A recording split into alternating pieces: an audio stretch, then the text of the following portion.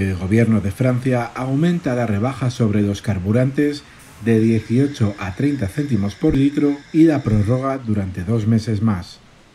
Esta subvención se mantendrá hasta el mes de noviembre, la cual volverá a bajar a los 10 céntimos hasta finales de año.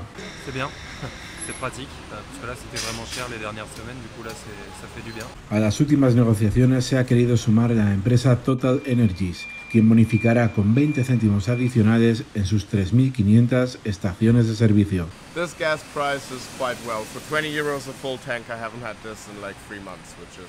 La empresa petroquímica respondió así a las advertencias del Ejecutivo que pidió a las compañías arrimar el hombro a consecuencia de la crisis energética, una crisis agravada por la guerra de Ucrania y contra la que el gobierno de Macron toma medidas para ayudar a los franceses.